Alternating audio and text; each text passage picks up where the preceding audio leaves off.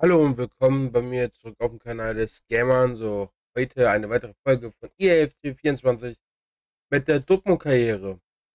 Wir grüßen hier vom Platz 4 und starten rein gegen die SGE bzw. Eintracht Frankfurt für die Leute. Und einmal die Startaufstellung von Frankfurt ist mit Trapas, Hebe, Koch, Tuta, äh, Shikiri, äh, Skiri, Knauf, Shelby, Max, Mia, Sanabria, Götze, Rode, Dina Bembe, Jura, Jureka, Enkankam, Nkunku, Ghost und Gral, Alarius gesperrt. Und damit starten wir rein. Diesmal nicht ins Spiel, sondern in die Schnellsimulation. Damit sehen wir uns gleich. Moment, der gibt es auch wieder. Und wir verlieren mit 2 äh, mit 2 zu 3 im Signal Luna Park. Das ist nicht gut. Also bedeutet das jetzt, wir müssen im nächsten Spiel punkten. Und jetzt heißt es FC Bayern München gegen Dortmund, der Klassiker im deutschen Fußball. Wir schauen einmal drauf. Neuer G. Delicht, Kimmich, Leimer, Groß, Guerrero, Humon, Musiala, Sané und Kane. Und äh, dann noch hinterher auf der Bank ist Müller, Masraui, Mendy, Choupo-Moting, Thielemann, Perez und Tell. Ja, Toni Kroos wieder hier zurück beim FC Bayern. Das ist nicht gut zu sehen, aber wir starten die Pressekonferenz. Vor euch ein kleiner Cut. Und damit sind wir gleich im Stadion.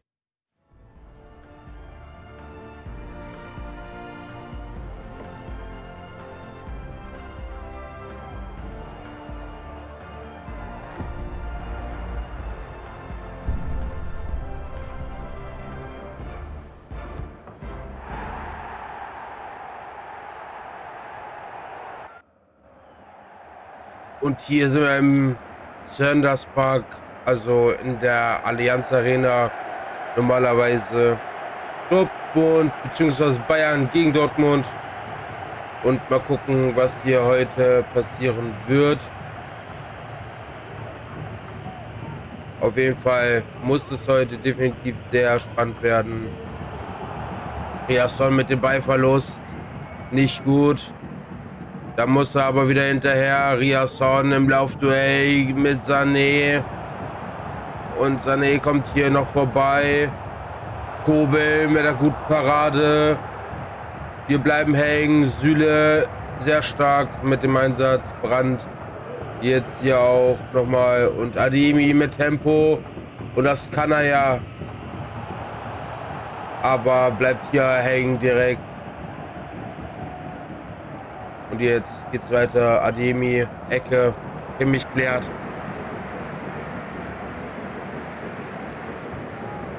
Und das war sogar ein Abseits, wie man es gerade nochmal gesehen hatte. Aber jetzt Füllkrug. Füllkrug bleibt hängen. Jetzt Sancho. Kommt hier nicht weiter. Wolf. Und wir müssen weitermachen gegen die Bayern heute drei Punkte liegen zu lassen, wäre nicht gut. Wir müssen die Bayern definitiv stoppen. Wir haben drei Punkte gegen Frankfurt liegen gelassen. Jetzt die drei Punkte müssen mit nach Dortmund. Süle mit dem Fehlpass. Süle ackert nochmal hinterher. Und Schlotterbeck sehr stark. Und es gibt die gelbe Karte für Schlotterbeck. Ich habe da einen stinknummern Einsatz gesehen, aber man will ja nicht viel machen und Marco Reus ist angeschlagen. Den müssen wir Lauf der Partie noch runternehmen. Für mich alles regulär. Ich weiß nicht, was der Schiedsrichter da gesehen hatte. Harry Kane gegen Kobel. Und Kobel hier mit der Glanzparade. Riasson. Brandt. Riasson. Jetzt mal über den Flügel. Richtig. Riasson. Nochmal in die Mitte weg. Aber die Bayern können klären. Definitiv heute sehr spannend. Dortmund gegen Bayern. Wir haben zwei sehr starke Kader hier, die aufeinandertreffen. Der Dortmund-Kader vielleicht ein Stückchen schwächer, aber nur im Sturmbereich, würde ich sagen. Und das machen wir sehr gut bis dato. Und jetzt muss Süle dahin. Kobel mit der Echtparade. Er rettet uns definitiv hier heute sehr viel. Der Arsch, Marco Reus. Ah, den nehmen wir gleich runter. Und das noch vor der Pause. Marco Reus. Wie müssen wir eigentlich den Titel holen? Wolf. Bleibt hier hängen. Maloch nochmal hinterher. Die Mentalität hier in Dortmund, die spürt man. Aber das Mir Samir kommt hier auch nicht durch. Und jetzt Ademi. Bleibt hängen. Jetzt müssen wir definitiv mehr machen. Riasson. Nochmal Ademi. Das macht er sehr stark und da kommt das Sprinttempo wieder durch bei Ademi. Aber auch das Sprinttempo hilft dir in dieser Situation nichts. Mittlerweile 38 Minuten gespielt und Salih Özcan, sehr guter Beinarbeit und Zayden Sancho, er kann zum Abschluss kommen und Sancho, der Torschütze wird der Nummer 7 hier im, in der Allianz Arena. Da macht er es, der gute Dortmunder Junge. Ecke für den FC Bayern München hier in der zweiten Hälfte mittlerweile angekommen. Und jetzt müssen wir aufpassen, dass wir hier auch keine Fehler mehr zulassen. Und Kobel hier mit der Echtparade nochmal. Capitano Kobel hält uns hier drinne. Und jetzt Sancho hinter Kimmich hinterher. Gute Beinarbeit. Sancho bleibt hier nochmal hängen. Aber jetzt kommt Bayern nochmal. Und aber mit Lieber Sané, der bleibt auch hängen. Jetzt Wolf. Wolf hier mal kurz mit dem Dribbling. Sancho wird geschickt. Sancho gegen Coman. Sancho sieht Wolf. Wolf kann hier zur Flanke kommen. Füllkrug in der Mitte. Und Neuer ohne Probleme diesen Ball gehalten. Mittlerweile schreiben wir die 62 bzw. 63. Minute hier im deutschen Klassiker. Und da müssen wir direkt wieder aufpassen. Die Bayern darf man hier nicht unterschätzen. Aber Sprinttempo von Ademi hilft uns hier auch gerade sehr viel. Gut, dass wir den Jungen hier spielen lassen. Ademi. Und damit sind wir auch schon wieder direkt vom Tor gewesen. Und jetzt Sané. Schlotterbeck ist vorbei. Ich wünschte, ich könnte jetzt hier mal so sagen, so Schmelzer, Subotic. Aber das ist die Truppe nicht mehr. Aber dafür ist es komisch, das Weide. Und jetzt müssen wir hier aufpassen. Nochmal Adimi. Er kann hier nochmal anziehen. Und das macht er sehr stark. Karim Adimi. Jetzt nochmal in die Mitte rüber. Und Füllkrug stand da schon wieder bereit. Wolf. Lotterbeck. Jetzt müssen wir direkt aufpassen. Und dann ist es Guero, Ex-Dortmunder gegen Wolf. Und damit ist es Kobel wieder, der hier uns nachschrettet. Und direkt geht es wieder weiter in die andere Richtung. Wir versuchen hier wirklich alles zu machen. dass mir Samir gerade momentan mehr am Drücken als der BVB. Aber das machen wir sehr stark bis dato. Süle, gut gemacht. Brand, jetzt auf dem Weg in die andere Richtung. Wolf, mal das Spiel ein bisschen breiter ziehen. Wolf jetzt hier mit dem Laufduell gegen Guerrero. Wolf mit der Flanke. Karim Ademi bekommt diesen Ball nicht. Und jetzt müssen wir aufpassen. Die Grätsche kommt zu spät und Musiala gegen Riasson. Süle, würde sagen schon Schlotterbeck, aber Schlotterbeck ist ja mit der gelben Karte schon markiert. Sancho, Wolf. Immerhin diese drei Punkte jetzt hier mitnehmen. Aus der Allianz Arena, besonders aus dem Sonos Park. Allianz Arena ist ja hier leider nicht vertreten. Und das machen wir sehr stark. Und Riasson hier nochmal mit der gelben 90. Minute. Groß geht raus. Mittlerweile dann Sani auch verletzt und Hubel klärt es und wir holen diese drei Punkte aus Bayern mit. Und damit starten wir rein direkt. Heute heißt es Signal im Signal Iduna Park Dortmund gegen Stuttgart. Natürlich Tabellenplatz 3. Wir haben die Bayern erstmal da oben runtergeschoben. Und die Meisterschaft ist tatsächlich hier noch nicht entschieden. Jetzt Spieltag Nummer 28. Einmal hier rein, wieder raus. Ihr könnt gerne auf Pause drücken, wenn ihr Startaufstellung sehen wollt. Damit gewinnen die Schnellsimulation. Und das gewinnen wir. Und Torschütze bei uns ist Malen, Brand und Haller. Sehr stark. Und jetzt heißt es im Borussia Park, Borussia München-Gladbach gegen Borussia Dortmund. Tabellensituation sieht so aus. Leverkusen erster mit einem Punkt vor uns. Danach kommen die Bayern mit punktgleich. Wir bloß mit einer besseren Tordifferenz. Dann kommt RB Leipzig hinter uns, dann erst der VfL Wolfsburg, Frankfurt, Hoffenheim und Gladbach auf den 8. Danach kommt Union, Köln, Freiburg.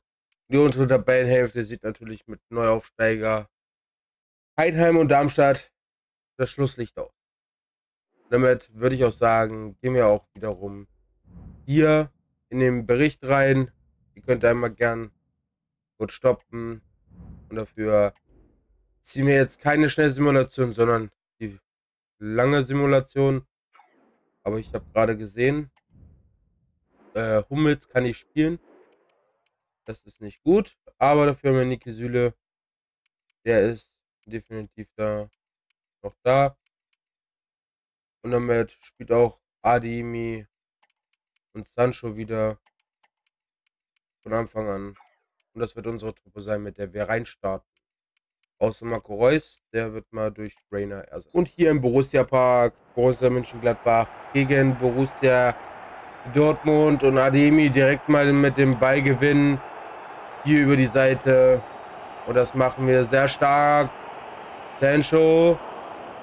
Ah, das hätte besser ausgehen können. Und jetzt nochmal Ademi und damit gehen wir einzeln in Führung. So wollen wir es sehen. Wir sind amtierend auf die deutsche Meisterschaft. Und damit sind wir hier definitiv noch drin. Gelbe Karte gebrannt. Nicht gut.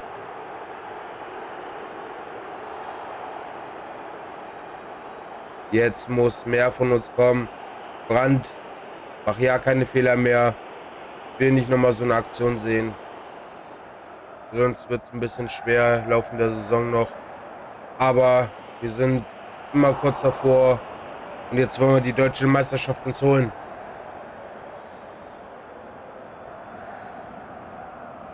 Deutsche Meisterschaft soll ja natürlich auch hinterher, also die Schale, nicht Kobe hochhalten.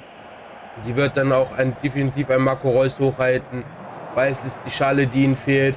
Und jetzt hier Sancho, Reina, Sancho. Und jetzt geht's sehr schnell, aber wir bleiben wieder hängen. Gladbach macht hier definitiv nicht auf, aber kommen auch definitiv nicht bei uns richtig durch. Ademi da war Benzebaini jetzt hier nochmal überbrannt. Das ist Haller, Blanke, sehr stark. Und Schlotterberg, der hier natürlich vorbeigeht. Riasson auch noch sehr stark. Jetzt müssen wir hier stärker werden, aber der Schuss war wohl nichts. Satz mit X war wohl nichts, könnte man hier in der Situation sagen. Definitiv wird es hier noch sehr spannend. Brand mit dem Ballverlust. Adamet sind wir jetzt in der Pause, springen auch direkt weiter. Wir wollen natürlich hier die drei Punkte holen gegen Gladbach. Wichtige drei Punkte geholt gegen die Bayern. Wichtige drei Punkte geholt gegen Stuttgart. Jetzt die wichtigen drei Punkte gegen, ja, gegen Gladbach. Stuttgart, Gladbach, die Bayern. Wenn wir die Punkte komplett holen und natürlich Kobel der bei uns 1A ist. Dank ihm sind wir überhaupt noch hier an dieser Stelle. Und damit muss Rainer jetzt hier was machen und Ronnie Rainer, er trifft mit einer Rücknummer 10 mittlerweile, weil die Rücknummer 7 ja an Sancho wieder begeben wurde. Aber die 10 steht ihm genauso gut wie die 7. Und jetzt muss noch mal mehr kommen. Und das ist soweit alles ganz gut. Wir, ja, so langsam müssen wir mal wechseln. Und da gehe ich auch mal direkt rein. Rainer, da kommt Reus rein. Für Sancho kommt mein. Vadimi kommt nochmal Pulisic. Weil die, das sind die drei, die sich hier am meisten gerade abackern. Und jetzt muss hier nochmal definitiv richtig was kommen. Und die Flanke. Und die bekommen wir leider nicht mehr. Schade. Omlin hier sehr gut unterwegs gerade. Und jetzt müssen wir nochmal richtig malochen.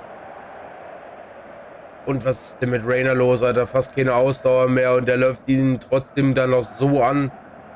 Sehr stark. 90. plus 1.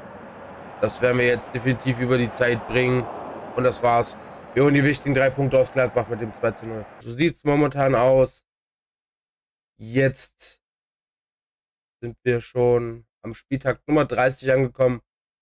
Leverkusen und natürlich müssen gleichzeitig auch noch die Bayern patzen. Die Punkte müssen wir uns holen. Aber da würde ich immer kurz in den Kalender gehen, weil ich weiß gar nicht, ob wir schon über das Limit sind. Ja, übers Limit sind wir definitiv. Ah, wo es gerade am spannendsten wird, muss man natürlich dann auch aufhören. Aber für die nächste Folge definitiv der Dortmund-Karriere auch mit. Hummels wird definitiv nochmal rauskommen. Rainer wird nochmal für Reus spielen. Adiemi für Pulisic. Sancho für Malen. Alias Jan für Jan. Und Sabitzer, mit dem kann ich nicht viel anfangen. Ich hoffe, wir werden ihn nochmal los. Ole Pullmann hatten wir dann nochmal Michel Blank. Aber die würde ich jetzt nicht gegen die Truppe spielen lassen. Aber ich würde hier mit einem Rierson gehen. Mit einem Wolf. Platz mit Benzebaini. Tatsächlich. Und so sieht unsere Startformation auch bis dato jetzt für die nächste Folge aus. Damit heißt es hier auch fürs Ende erstmal, lasst ein Abo da, lasst einen kostenlosen Like noch da und aktiviert die Glocke, dass ihr immer benachrichtigt werdet. Natürlich, Abo ist auch kostenlos. Mein Ziel sind die 1000 Abonnenten, dabei könnt ihr mir helfen. Und damit sehen wir uns beim nächsten Mal wieder bei mir hier auf dem Kanal des Gamer so. Viel Spaß bei diesem Video und ich wünsche euch einen guten Morgen, guten Mittag oder guten Abend. Weil ihr das Video auch immer seht. Damit verabschiede ich mich und ciao. Euer Gamer und so.